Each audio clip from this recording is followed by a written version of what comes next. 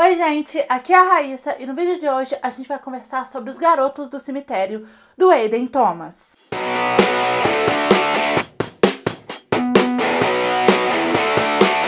Os Garotos do Cemitério é uma publicação de 2021 da Galera Record e tem tradução de Arthur Ramos.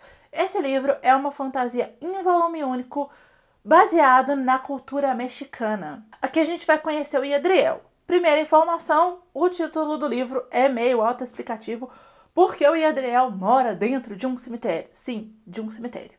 Ele vive numa comunidade bruxa de origem mexicana nos Estados Unidos. Por ser um garoto trans, ele não foi autorizado a fazer a cerimônia de iniciação dele, que seria para receber ele como um bruxo dentro dessa comunidade e para ele começar ali a desenvolver as atividades destinadas aos homens e aos bruxos. Mas ele decide fazer a cerimônia de iniciação, mesmo assim. E o detalhe? Sozinho. Após essa cerimônia de iniciação, cada bruxo precisa invocar um espírito. E aí o Yadriel decide invocar o espírito do primo dele. Eles sabem que o primo dele morreu, tá? Eu não vou falar como, isso tá na sinopse do livro que o primo dele morreu. Mas vocês vão ter que descobrir como aí, lendo o livro, porque acho que é legal a gente descobrir as regras da magia desse livro lendo ele. Então ele sabe que o primo dele morreu. Mas eles já procuraram o corpo, não estão encontrando e não sabem por quê, não sabem quem fez isso. Então o Adriel pensou: bom, vou invocar aqui o espírito do meu primo, perguntar para ele quem matou ele, porque além de eu provar para as pessoas que eu sou um bruxo, porque eu consegui fazer minha cerimônia de iniciação, eu vou resolver aí o problema que ninguém tá me deixando resolver. Só que aí, gente, ele acaba invocando o espírito errado. Ele invoca o espírito de um garoto chamado Julian, que se recusa a ser mandado pro além. O Julian se recusa a ir embora. E aí eles se decidem ali, ele não manda o Julian embora, porque ele, o Julian também morreu de um jeito muito misterioso, então ele quer descobrir por quê. E aí, na medida que ele vai convivendo ali com o Julian, porque ele não conta para ninguém o que ele fez, ele, os dois vão ali começando a ficar próximos e ele começa assim a não querer mandar o Julian embora. Então o livro vai seguir aí por essa questão de vai mandar o Julian embora, não vai mandar o Julian embora, e quem matou o Miguel, primo do Iadriel, e o Julian, e também sobre aí essa questão é, do Iadriel não ser tão bem aceito assim dentro dessa comunidade que não sabe e também não se preocupa muito bem como lidar com um garoto trans. É um livro leve, tá? Esse livro é uma grande aventura, mas que ao mesmo tempo também vai abordar coisas importantes sobre e para pessoas trans. O Eden Thomas é um homem trans. Uma coisa que me marcou muito nesse livro é como ele aborda a importância do apoio da família e das pessoas que cercam ali essa pessoa. Então, assim, é, essa questão, por exemplo, do nome, tá? É, da dificuldade das pessoas em reconhecerem o nome e o gênero no qual a pessoa se reconhece. É, a família do Iadriel, por exemplo, aqui, ela até apoia muito ele, tá? A mãe do Iadriel, logo quando ele contou para ela que ele é, se entendia enquanto um garoto, ela deu todo o apoio para que ele pudesse passar por esse processo da melhor forma possível. Mas a mãe dele morreu. E o pai dele, por mais que apoie, é, fica claro que o pai dele não, sabe muito como lidar. E aquela história, né, gente? É uma pessoa hétero, numa situação muito confortável ali dele, né? O mundo dele é, é, muito confortável. Então, assim, ele escolhe, ele não sabe como lidar. E ele meio que. A gente percebe que ele não faz muita questão de aprender. Ele escolhe lidar com essa situação meio que se omitindo. O pai do Iadriel, ele é o líder dessa comunidade bruxa e ele não faz nada quando Iadriel é impedido de realizar a cerimônia de iniciação como um garoto com os demais garotos, por ser entendido pelos outros membros ali da comunidade como uma menina, que é o gênero no qual ele nasceu, né, o gênero gênero sexo biológico, desculpa, sexo biológico, vamos usar esse termo ele não faz nada. É, as outras pessoas querem. Porque a iniciação das meninas e dos meninos aqui é diferente, as atividades que desempenham dentro dessa comunidade é diferente. E o pai dele escolhe é, não se posicionar e simplesmente fala: você não vai fazer. Porque eles acham que não é possível.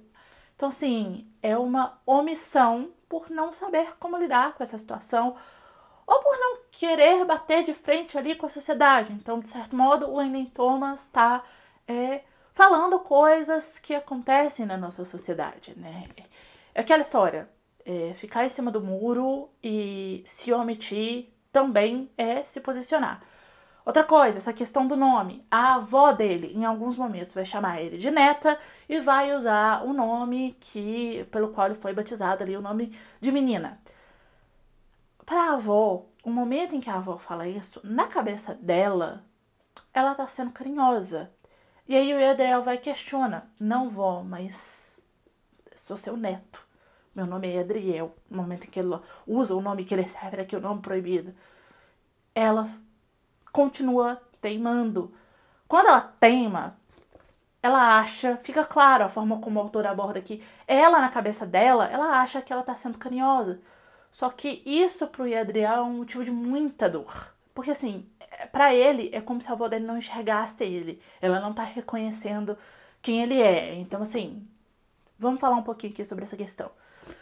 Se você pode é, chamar artistas pelo nome artístico deles, um nome artístico pelo qual elas, eles não nasceram, então assim, se você chama a Stephanie Joanne de Lady Gaga, se você chama ela assim só, você aceita esse nome artístico que é te dado dela, de vários outros artistas, tá?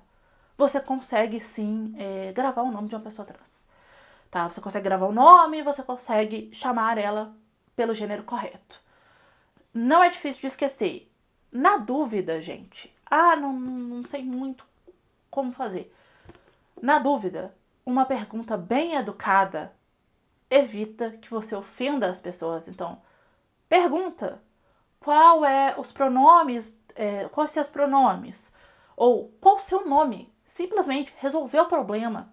A pessoa fala o nome dela, você vai usar aquele nome, pronto, acabou. Eu gostei muito da escrita do autor, é uma escrita ágil, uma escrita fluida. Ele vai direto ao ponto e as regras da magia aqui, elas são bem simples, então elas bastam para explicar essa história, tudo resolvido de uma forma fácil. Então, não tem uma grande mitologia, uma grande construção de mundo que você precisa entender. Isso faz dessa leitura uma leitura muito prazerosa, muito gostosa, muito rápida de fazer e muito divertida. Então, se você não tem costume tanto assim de ler muita fantasia, ou se você já é um leitor assíduo de fantasia como eu e tá procurando um livro aí mais leve, depois, sei lá, de um livro de alta fantasia, de repente, esse livro aqui é uma ótima pedida. Também é muito bom para quem tá começando a ler o gênero, tá? Porque é uma fantasia, em volume único, aventura, é um livro muito bom para jovens também. O livro tem uma dinâmica bem simples, tá? Então, basicamente, ele vai entregar aqui o que tá na sinopse. Tá? Ele não faz uma promessa muito birabolante. Então, ele cumpre o que ele promete. A sinopse dele não tem spoilers, entregar o que tá ali, tá? Não, não, não tem nada muito birabolante. Ele não é um livro que ele propõe muitas coisas e não tenta cumprir. Tudo que ele prometeu pra gente, ele vai entregar. Então, por exemplo, eu que já leio bastante fantasia, é, tenho um ritmo de leitura mais rápido, já li muita coisa. Adivinhei o que ia acontecer aqui, eu adivinhei o final desse livro, bem no começo dele. Isso para mim não foi um problema, porque, de novo, o que o livro prometeu me entregar, ele me entregou, então assim, achei 10 de 10, tá? É um livro muito bom. Então, se você está procurando aí uma aventura para poder ler, um livro leve, divertido, é, engraçado em alguns momentos, tocante em outros, Os Garotos do Cemitério é uma ótima recomendação para você.